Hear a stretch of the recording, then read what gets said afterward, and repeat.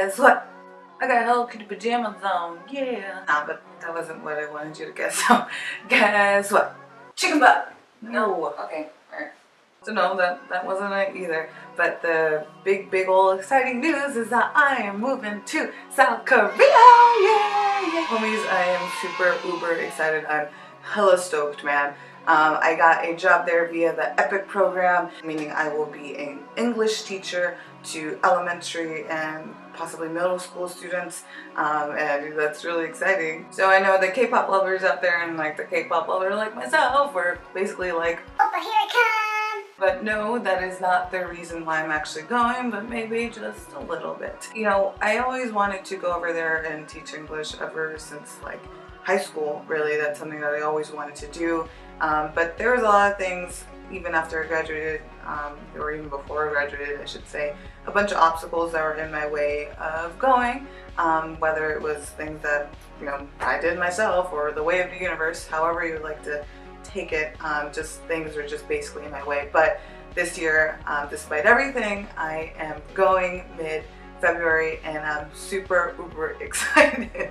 now I am not going to be living in Seoul which was my preferred location but you know when life gives you lemons you, you know take them and put them on your ceviche and if you don't know what that is that's a really good awesome Peruvian dish. I, think one of my favorites. But instead I'll be living in Daejeon which I don't know what actual province I'll be living in just as of yet because I'm still waiting for my official paperwork to come in. But you know, I'm, I will be living there. It's going to be nice to live in a different city. I have lived in Seoul not for a very long time. It was kind of like one, two months um, over there, but it'll be nice to visit another part of Korea and it's definitely going to be nice to be able to reconnect with a bunch of friends that I had over there. Excited to go ahead and see them again because I haven't seen them since like 2011, 2012, I forget what year exactly.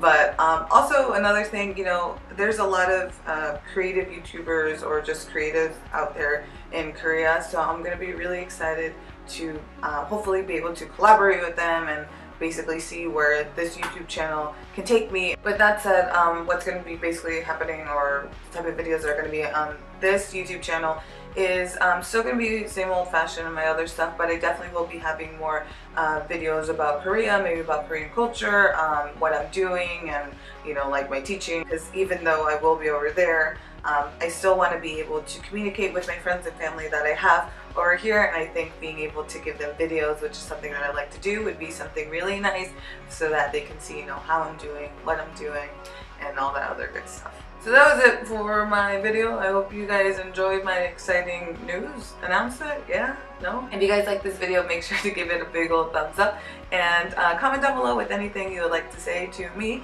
or follow me on Instagram um, with any questions or anything like that or you just want to say hi. So yeah, that'd be nice. And don't forget to subscribe because I would really, really appreciate it. Uh, with that said, I've been getting a lot of support on my channel as of recently. I just want to say thank you for everyone who has been supporting my channel and thank you to everyone who has been supporting it from the beginning. I really appreciate it and I hope to see you guys in the next one. It's Christmas here, so Merry Christmas, but by the time I upload this, it's to be like the day after, so uh, Happy New Year. Okay, ciao, bye!